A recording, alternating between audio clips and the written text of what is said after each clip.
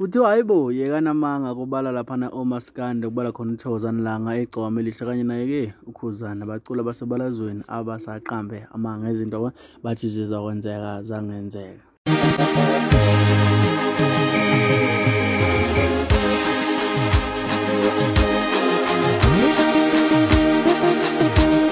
umbono kuphi nakuphi la kufunye kanilombuso njengamanje manje. Ukubingelela yena-ke umathendo wacebo sintombi zomqomela behlakhabanye zibaqomela imali uthibuwa sangoma-science kumvile nefica sosha nakatshela ngathi mntana umuntu onqomana wakho mbakutshela banalazi kanakwenje ngabe usuku lakho lokuqala la sifisa ukutshela ukuthi-ke sijabule kakhulu ukuthi ube yilungu layo-ke igolova t v. Kanti-ke ngabe usuku lakho lokuqala cela ukuthi upresse usubscribe ushare uphinde ucomment okhulu nakho konke uma usubscribe ayekho imali yakho ehambayo engane zakwethu kubatshazwa-ke abeculi abakhuluma izinto bathi zizokwenzeka uzokwazi ukuthi uzokhumbula-ke ukuthi abaculi bethu into-ke yadlulela lapha phambili kakhulu njengamanje ukuthi uinforme izinto before uzenze noma uveze izinto ezenzekayo ngomsebenzi wakho. Eyinto eyenziwe abaculi kakhulu. Akudinge imakethe igcokama elisha laphana kukhonjiswa ukuthi lake laveza indaba yama-sim card nendaba yayo-ke i-sanitizer laphana-ke ukuthi zizoba khona. Abantu bayabuza namanje ukuthi zake zaba khona na?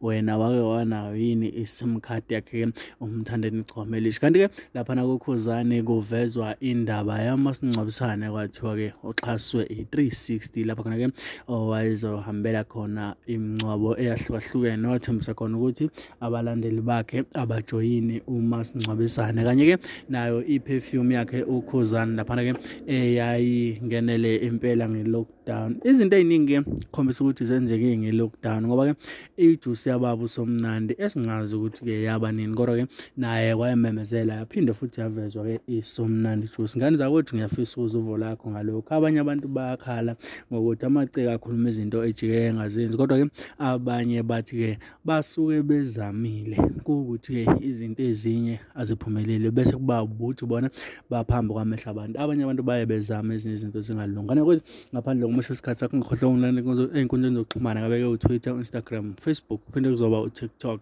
Uthola yena-ke i-at golova tv noma uthi at mathinta cebisa.